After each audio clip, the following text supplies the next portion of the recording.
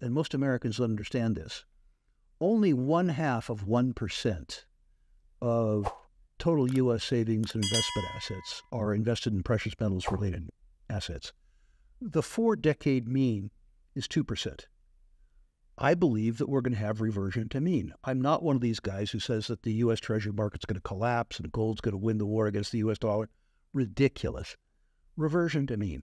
If you have reversion to mean, you quadruple demand for precious metals and precious metals related securities in a market that is by itself 22% of the world's savings and investment capital market. That's what's going to happen. In this insightful finance discussion, Rick Rule, a seasoned investor, highlights the cyclical nature of exploration businesses and the importance of being a contrarian for substantial gains. He emphasizes the recent undervaluation of the exploration sector presenting a unique opportunity for investors. Rick shares his perspective on the changing dynamics, the impact of company capitalization, and the potential for significant returns, using examples like Chakana Copper. Furthermore, he discusses the role of the Federal Reserve, the performance of tech stocks, and the shifting interest towards gold, anticipating a reversion to the mean and a broadening interest in the gold market which he sees as a democratized and underestimated investment opportunity. Let's dive into the rest of the video to hear Rick's full thesis.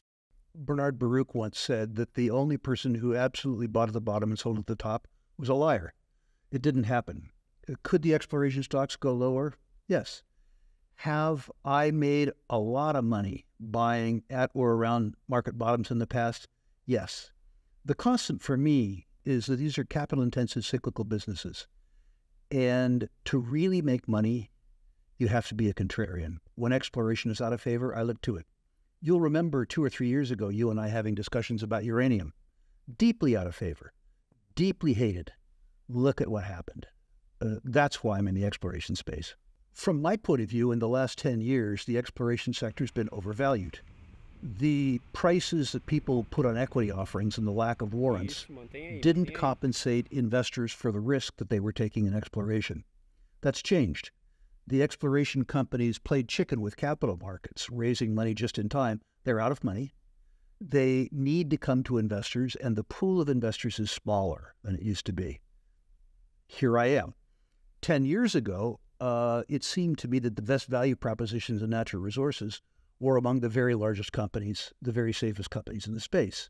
So I could be in names like Wheaton Precious uh, or Exxon or Franco Nevada.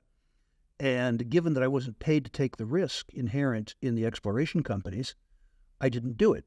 Now we're in a circumstance where some of these companies have done 10 years of good work.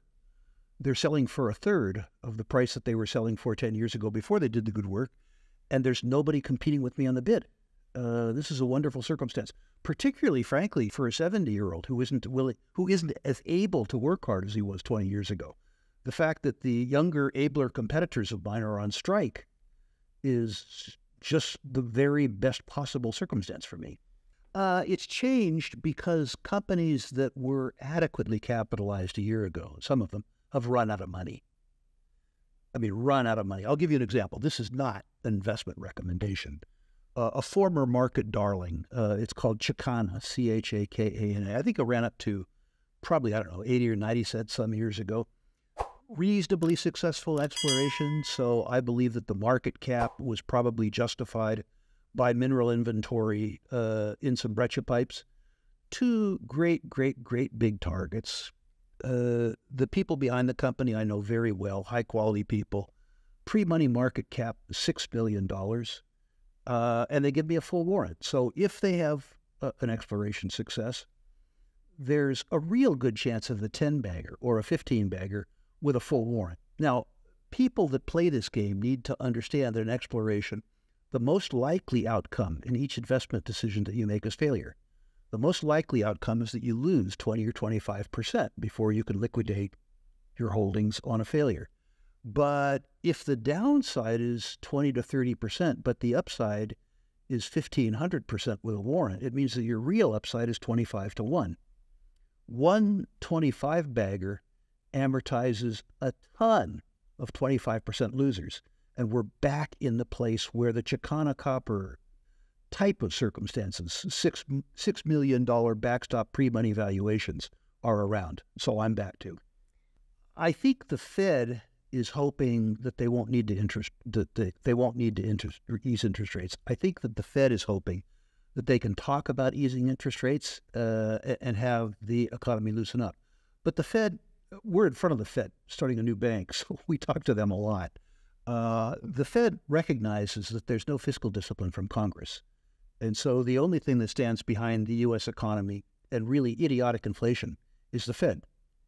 The Fed, in the absence of some control of spending by Congress, uh, the only tool that they have to keep the U.S. economy sort of on kilter is interest rates. Their preference would be not to cut. Uh, and if the U.S. economy continues to show reasonable signs of strength, I think they'll talk about cutting as opposed to cut.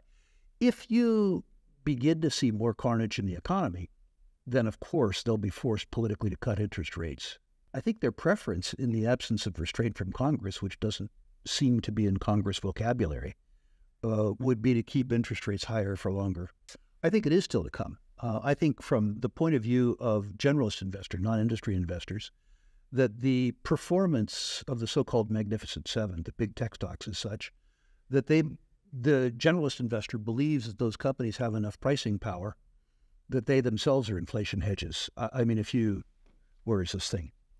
If you look at the fact that Apple can sell me this little thing for twelve hundred dollars uh, and deliver enough utility to me that if they charge me fourteen hundred, I would still pay, suggests, I think, to the big investors that there's plenty of that there's plenty of pricing power in corporate America, and that they don't need to come down to the gold space.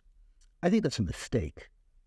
Um, I, I, think it's a big mistake. I think with specific regards to Apple, although I'm not a, a tech investor, that their avenues for growth uh, are probably less dramatic than there were in the past. Their margins are insane. But I, I think it's a wonderful company, but I think it's priced for perfection. I don't think perfection occurs. But let's leave that aside. In the gold space, uh, it is arguable the U.S. investor, not a global investor, but a U.S. investor didn't need to own gold in the period 1982 to 2022.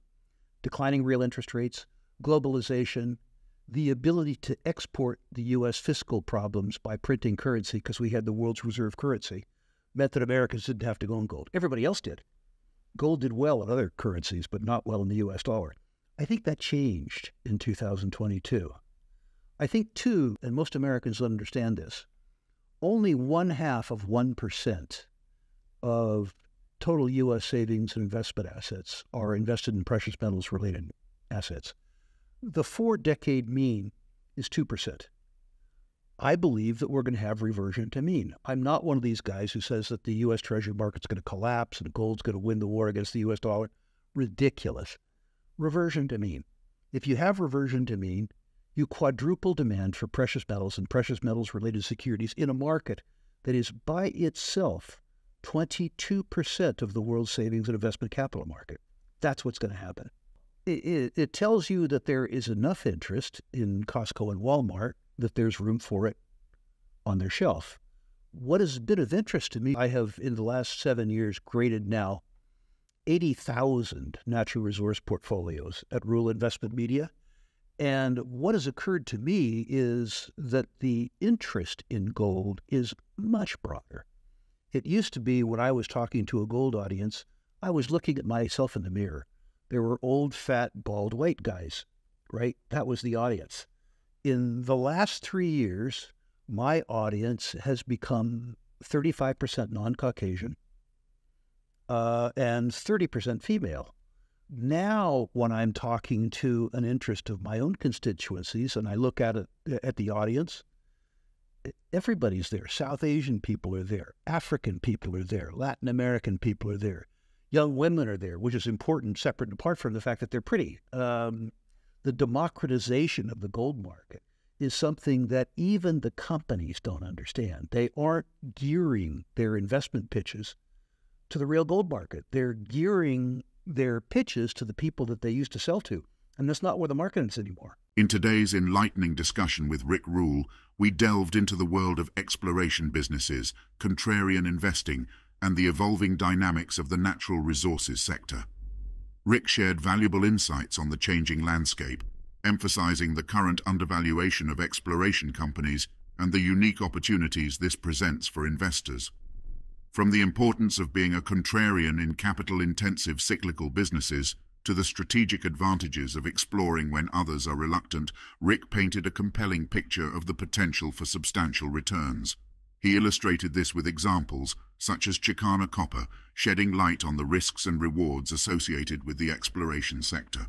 We also explored Rick's views on the Federal Reserve, interest rates, and the performance of tech stocks, his perspective on the gold market, its historical context, and the potential for a reversion to mean provided viewers with valuable insights into a market that seems to be on the brink of significant change. As we wrap up today's discussion, we invite you to reflect on the key takeaways shared by Rick Rule. If you found this content valuable, don't forget to subscribe, like this video, and share your thoughts in the comments section below.